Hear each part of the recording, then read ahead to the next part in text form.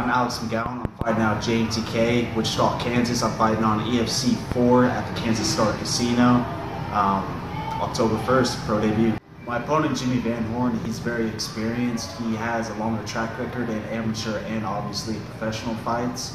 Um, he has over 30 plus fights, which is a lot of experience. I only have six amateur fights, but I went 6 0 and quick, six quick finishes. But I really don't think he's an experience going to factor too much because I know I train with the Graves team. I have great training partners. They'll make sure that I'm uh, fully physically and mentally prepared for everything that he has to offer, and I really think that gives me an advantage. Yeah, he has his experience, so he may go in there thinking that I'm um, going to go in there wild, but I guarantee you, that it's going to be a quick fight between him and I, and I'm going to come out on top. It was something I wanted to do a while back, but um, one of my old coaches wanted me to take one more amateur fight, so I did that to be able to please him. Um, I stepped up a weight class just like how I'm doing my pro debut again, and uh, fought a very, um, very strong and talented uh, fellow up in Omaha, Nebraska for Victory Fighting Championships. Um, I ended up getting the second round guillotine. So the decision to go pro after that, it was a pretty easy one and such. And the preparation I made is I made the move over to JMTK with world-known fighters such as Chris Harris, David Caveman Rickels, we got Ty Clark, Brandon Phillips, very well uh, good strikers and overall MMA fighters, and a lot of the guys that are in my weight class that help me prep for this fight.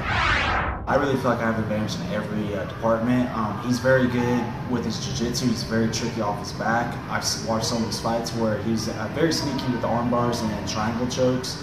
But you know, I train with at uh, Fox Fitness that produced a couple world champions in jiu-jitsu and whatnot, so I'm very knowledgeable there.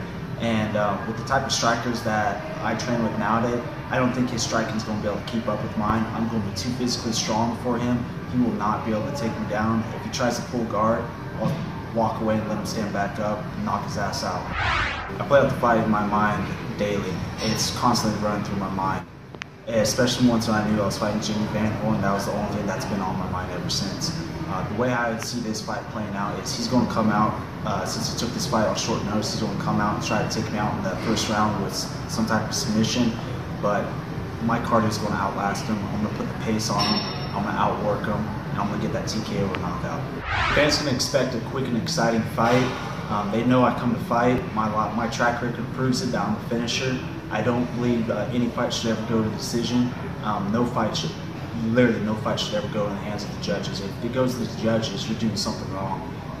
I come to finish, I'm coming to knock this dude out. I'd like to give a shout out to all my fans here in Wichita, Kansas, my uh, friends and family that's been supporting me, my team over at James K, my striking coach, Andy Zer. Him and I put a lot of one-on-one -on -one time together to be able to get ready for this camp.